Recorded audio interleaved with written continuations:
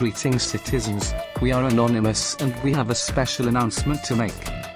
We have a paper storm planned for the month of September on the 2nd, 20th, and 30th of the month, and are requesting your help in spreading flyers regarding the NSA's surveillance scandal on these dates.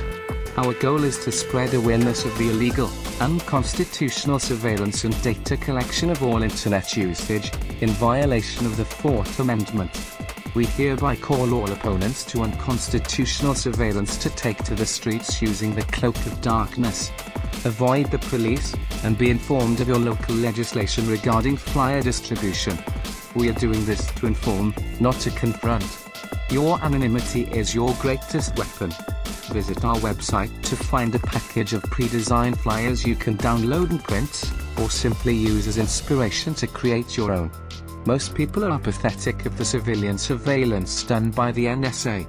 They need a wake-up call, and this paper storm will be the vessel for such an awakening. The people will awaken to find their streets plastered with the truth. Stay hidden. Stay safe. Be the darkness. We are anonymous. We are legion. We do not forgive. We do not forget. Expect us.